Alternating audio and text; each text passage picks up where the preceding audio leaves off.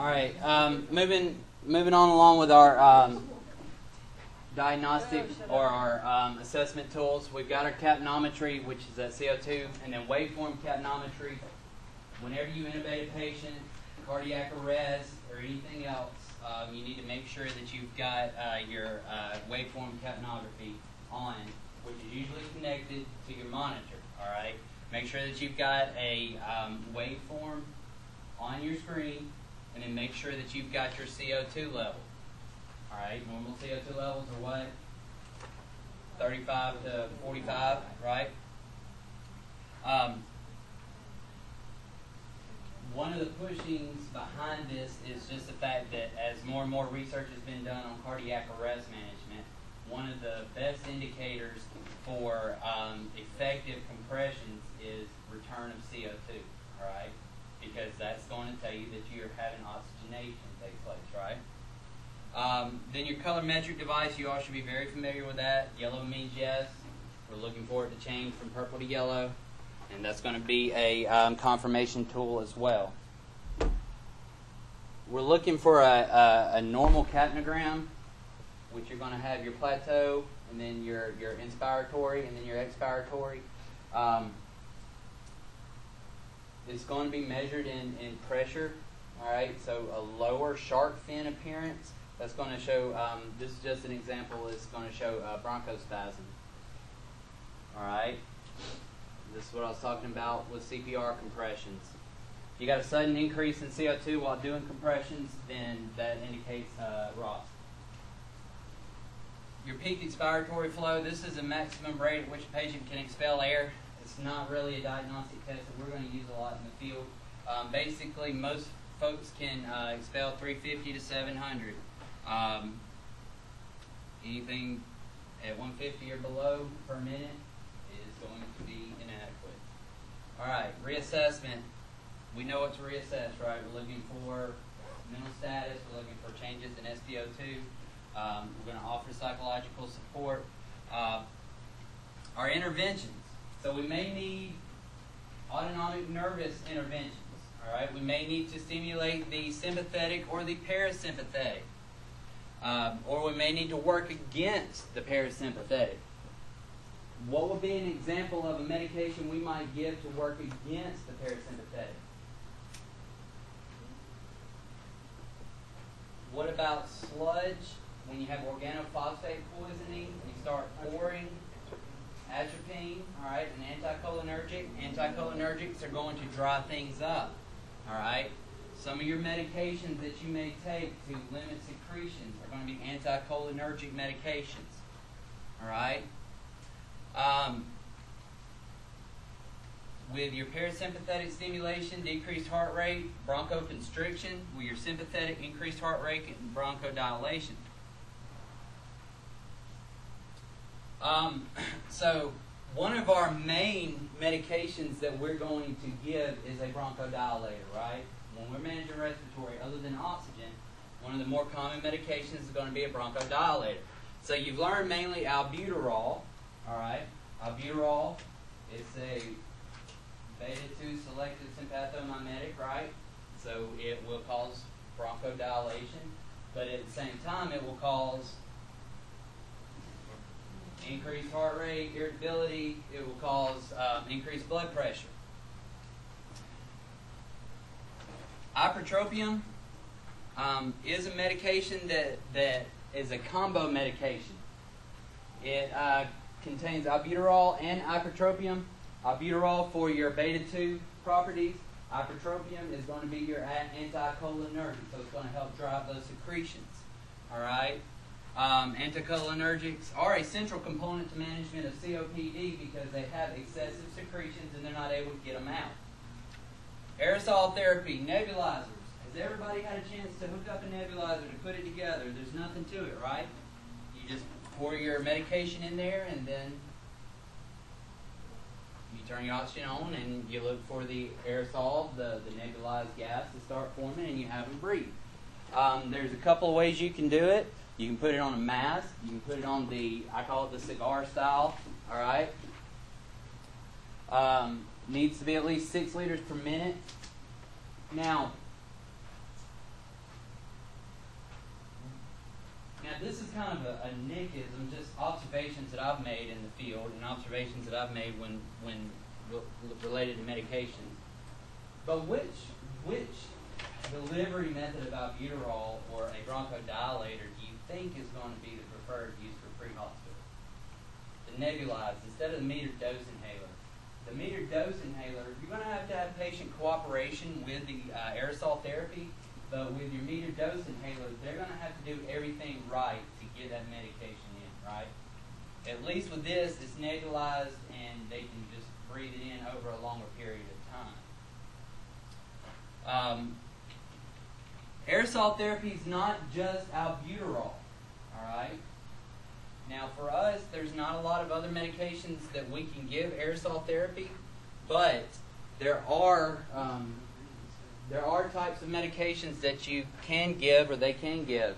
Um, they can give corticosteroids, inhalation method. All right. What would what would a corticosteroid do? What does the steroid do? Right. It, it fights inflammation. Very common medication for folks that have chronic inflammation, such as COPD. Um, you can give anesthetic agents. All right. They can put a little lidocaine in there. That'll help numb. Antitussives, mucolytics. All right. Mucolytics. One of them is Mucomyst. Mucomyst is also the antidote for what? What do y'all, do y'all know? Tylenol. Tylenol. Have any y'all on your respiratory therapy clinicals smelt Mucomyst? Smells like rotten eggs, rotten eggs. They thought it was funny up in the unit to save a little bitty dab of it and then go rub it on somebody's back and they'd walk around smelling like eggs the rest of the day. Alright? Yeah, it's hilarious unless you're the one that's smelling like rotten eggs all day. Maybe it was, maybe it wasn't. All right. Your metered dose inhalers. So, for the best way for them to work is to get that spacer. Um, the biggest thing with the MDI is that you're going to have to have full cooperation. They're going to have to be prepared to suck in a full breath. All right. If you use a spacer, they need to know to suck instead of to blow. All right. Um, when they inhale, which is going to be kind of hard if they're having an asthma attack, when they inhale, they need to hold it in, right? Because that medication needs to get in and, and wrap around. That's the good thing about aerosol therapy is that it can slowly get in and it can slowly start easing, and they can actually start getting more and more of it in. All right. Now, if it's a meter dose inhaler that has a corticosteroid in it, they need to rinse their mouth out. All right. That's going to be your Salmedrol or your Spiriva, the purple disc packs. All right. If they don't, then they can get what's called thrush in their mouth. All right. Which is just a yeast infection in the back of their throat and on their tongue. If the patient can't move air, don't uh, do it. Now, that's one of the cool things. I meant to bring it up here, and we'll see it down in the scenarios today for those of you that are with me. Um, the new CPAPs. Those of you that work DTS, you know, and I think we showed everybody last semester. They've got um, where you can actually do albuterol treatments with CPAP. I think that's pretty awesome. All right, your dry powder inhalers, um, nothing that we're going to really give in the field, but these are going to be medications that they may have. All right, this is where they actually may crush a peel in the inhaler. All right, or it may just be dry powder. And then definitely want to do a good respiratory documentation, okay? So your goal is to support oxygenation or ventilation, right? Your number one goal should be to stabilize and get them to the hospital as quick as possible. Always maintain an airway. You know how to do that. Try to get them to um, decrease work of breathing. Work of breathing gets too much, then they're going to fatigue, right? They're going to use more energy than what they can produce. One of the the one of the first treatments that should be done for any patient in respiratory distress is have them sit up. All right? Going to a nursing home. Old Miss Jones isn't breathing good. Have her sit up. If she can't sit up, get her on the stretcher and sit her up. All right? Because when we're laying flat, that's got all of our muscles contracted. And also, if there's fluid in the lungs, it all is kind of diffused through the lungs. At least if we sit them up, it's going to drain to the bottom, and we still can have oxygenation in the upper lobes. Um, oxygenation, we talked about it. Just administer what needs to be administered. All right. Now, as far as it comes to like hypoxic drive and things like that, I think what I read is the two-hour mark. High flow oxygen is not going to really affect the hypoxic drive for in the first two hours, but as the body gets accustomed to these high flow oxygen values, it's going to um, start having issues. And what happens is, is that they become dependent on it, and always, always, always, your goal, long-term goal of oxygen therapy is to slowly decrease the amounts of oxygen to where they're getting back to breathing atmospheric level, which is 21%, what we're breathing right now. There's a huge gap between 21% and 100%, right? So we have to titrate it slowly back. Again, your, your, your thoughts are always what's best for the patient, what, what can I do now to help them have a full recovery. Your goal should not just be to drop them off at the hospital. You're not being a patient advocate. Your goal should be what is best for this patient, the full picture in mind. All right? If your goal is just to stabilize and kick them out, then let the hospital deal with it. Then you know you're going to do therapies or you might do things that might not be what's best for the patient. All right? Bronchodilators, we talked about it a little bit. Why wouldn't they be effective in pneumonia or pulmonary edema or heart failure, heart disease? Yeah, bronchodilators aren't going to do anything for fluids, right? Your fast-acting bronchodilators are what we're going to give in the field. Albuterol, Atrovent, things like that. Does anybody that works at any other service besides ETS use Atrovent? Do y'all? I know that we did when I worked in Troup County. And what it was was we used Atrovent and albuterol and we mixed them together. Um, then your slow-acting bronchodilators, these are going to be these are going to be medications that they may take on a home regimen every day. All right. Um, salmeterol um, or this other one, I don't know, cromolyn. Um, methylxanthines these are going to be older medications that patients used to take for um, obstructive disorders.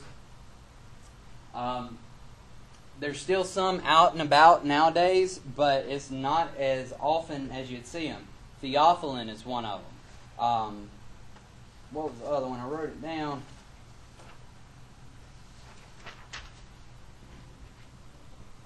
Anyways, um, the problem with these types of medications are is that they have cardiac issues and hypotension. So some of your older patients that have had long-term chronic, they've been on these medications, they may still be on them. All right. Electrolytes. Magnesium is a bronchodilator. Mag sulfate is a bronchodilator.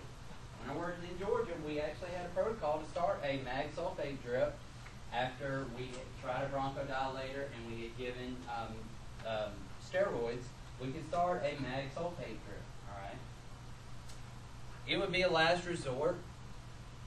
You probably wouldn't start a mag sulfate drip in the future. All right.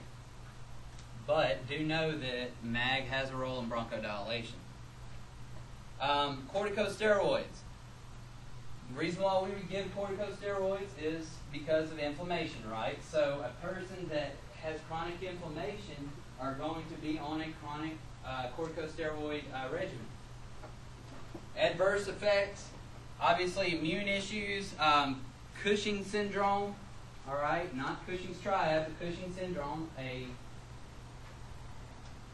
what what what system does Cushing affect? An endocrine system. All right, and then um, corticosteroids also really greatly affect uh, blood sugar. They actually shoot blood glucose up.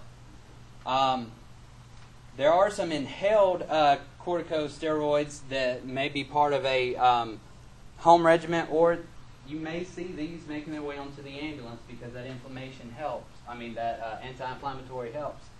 And then IV corticosteroids, methylprednisone, um, hydrocortisone, uh, Solu-Medrol, all medications that you would give somebody acutely to um, help with inflammation, acute asthma attacks, COPD, things like that. Vasodilators. Why would a vasodilator help in some in in um, some respiratory disorders?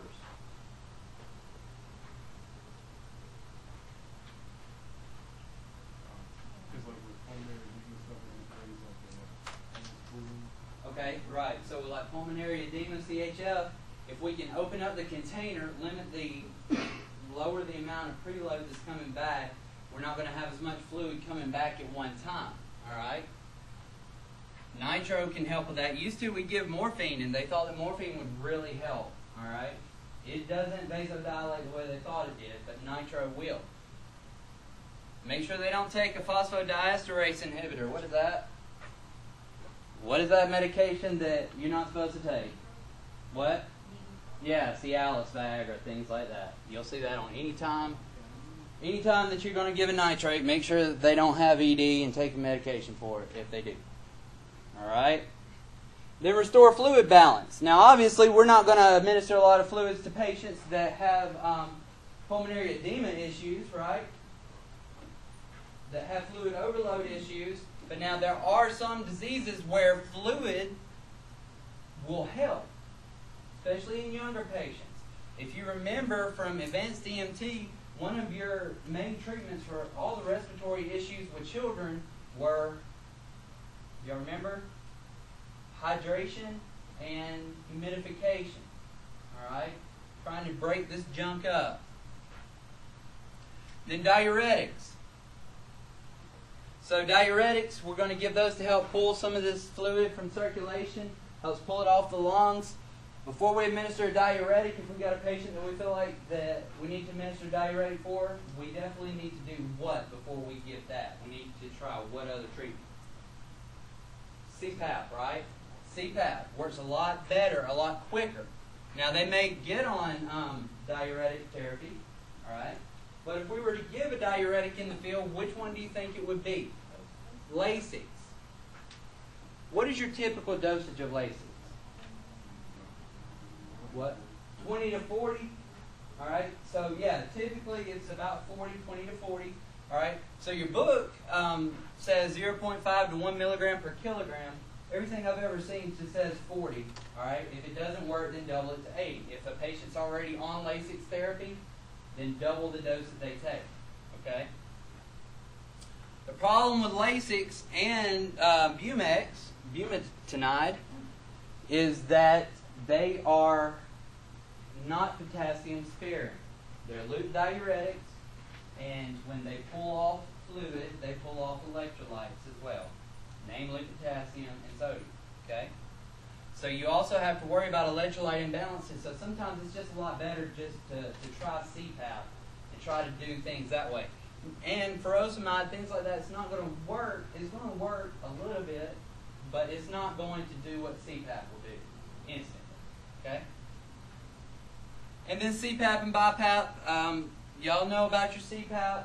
Provides pressure to help push air in, and it splints to keep the alveoli open, and further pushes the fluid out. All right, folks with OSA, uh, sleep apnea, they use one of these at home. All right. Now you've got CPAP and BiPAP. Um, well, CPAP, it just it continues to push pressure. Then they breathe against that pressure, and in turn, those two pressures collide, creating more pressure in the lung. All right. The pressure is not so great that they can't breathe over it, but it is a little bit higher pressure, and it's not a natural way to breathe. So it's going to take some coaxing or some talking the patient into it. All right. CPAP, you got to watch your pressures. Of course, you could cause some type of barometric trauma, um, pneumothorax. You could do uh, sub-Q air. And it could also block venous return. You start increasing that intrathoracic pressure, it's going to start increasing the pulmonary pressures, namely your pulmonary artery and your pulmonary vein. If those pressures get too high, then you start having issues with pulmonary return or blood returning back to the heart, which is your oxygenated blood. All right? CPAP, when we place it on, the only way for it to work is going to do is going to be what? Have a good seal, right? The only other way for it to work is if the patient is breathing on their own, right? It, it is not a ventilatory mechanism. It's not a ventilatory uh, tool. Almost said stool. Um, has anybody actually got to see it work and work right? It, it, it's usually instant relief. If you can talk these patients into putting it on, at least in the next couple minutes, they're not fighting it anymore because they know that it's helping them breathe. What what's the hard part about CPAP is just getting them to put it on. All right, so you may not necessarily just jump on and just slam it on their face real quick. You may have to hold it on and let them see, hey, this is going to help me breathe. And then you can, once somebody that can't breathe, if they can figure out a way for them to breathe again, they're not going to fight it a whole lot. All right. What's very frustrating is you finally get a patient calm down, get that CPAP on, and then they get to the ER and they have to get a room air SAT, and they snatch it off. That happened to me when it first when we first started using CPAP on the ambulance over in Columbus. And then your BiPAP, it, it the same idea as CPAP, except it just delivers a much lower pressure upon expiration. All right. Transport ventilators. Um, they're usually going to be just have minimal settings. Um, I never use one at East Alabama. I use it all the time at, at AMR. But basically, our role with ventilation is we're going to provide BVM in the acute setting. If it is a transfer or something like that, usually the settings are made by respiratory therapy or the doctor or someone like that, and um, usually we don't mess with it a whole lot. All right. And then intubation. Intubation is going to be a vital tool, but it's going to be a last ditch effort tool. All right. We're going to try everything else. And oftentimes, CPAP is going to be our saving grace from having to intubate. So many things can go wrong with intubation. All right? We can get that tube first in, and then by the time we get to the hospital, moving them around, it could have slipped into their stomach and this whole time we've been ventilating their stomach. So many things can go wrong with that patient. All right? So you want to hold your intubation for the last ditch effort. All right? Again, go back to your H's and T's. Make sure that the underlying cause can be fixed or cannot be fixed. Um, then there's uh, sub-Q uh, beta agonist, epinephrine. We would give epinephrine have, especially like in asthma, if we tried everything. All right. That's why epinephrine is a very good drug for like anaphylaxis because of the bronchoconstriction. It opens it up. And then terbutaline is a medication that, that we won't use a whole lot, but it does some of the same things. Um, if we have to give medication down an ET tube, we double the dose, right? Cool. Obstructions. Move it, right? That's our treatment. Try to get the obstruction out. If it's such a large obstruction, such as um, laryngeal spasm, angioedema, last ditch effort would be needle cricothyrotomy, right?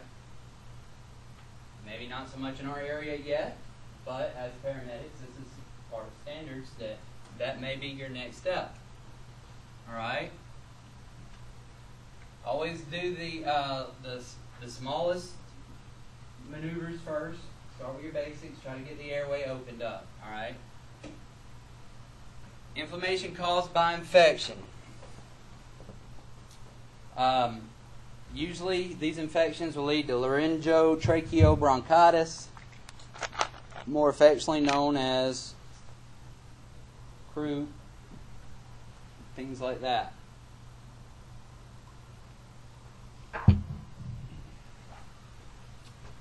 So when you start thinking of the diameter of the tubes as far as like restriction and all that, you got to think about what's actually happening when these tubes restrict, all right? Your bronchioles, when they constrict down. Number one, you're having a harder time getting airflow in, so you're not getting as much delivered. And number two, you're increasing pressures.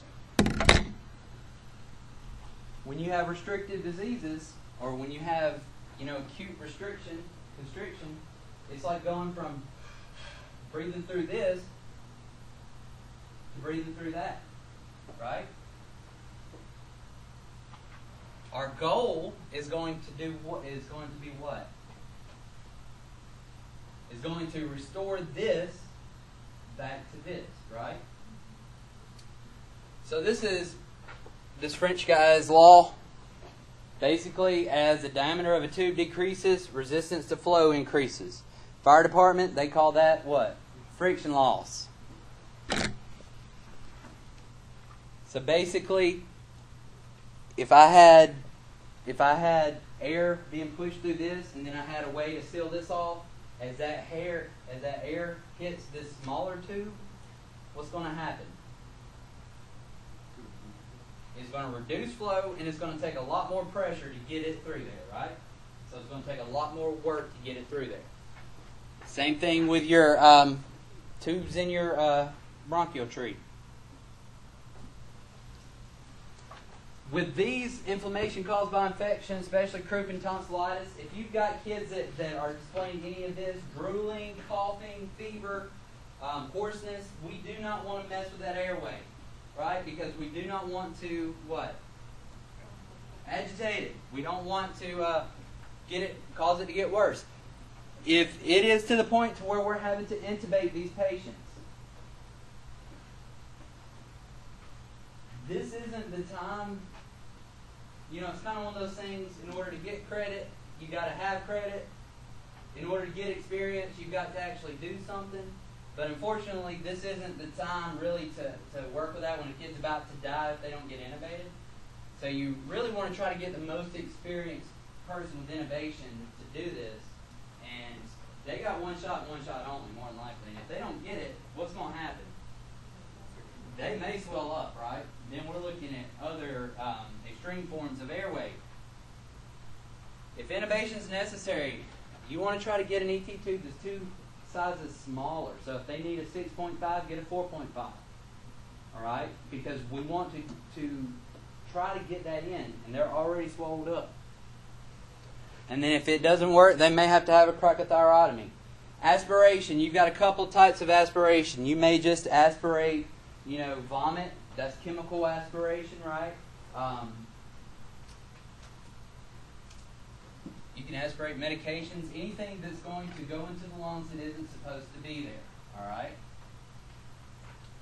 Um, tube-fed patients, folks that have tube feedings, if they're laid back, that stuff's going to come back up. It's just fluid. Um, impaired swallowing, unresponsive patients. They have a foreign body. Aspiration of the foreign body may occur. Determine the scenario of sudden onset of dyspnea. What caused the problem? Okay? And then if they aspirate, we're going to suction, we're going to try to prevent further aspiration. They may need an NG tube. If what's caused them to aspirate is gastric distension and it's pushing that fluid back, we may need to get an NG tube and suction that stuff out of their stomach. Okay?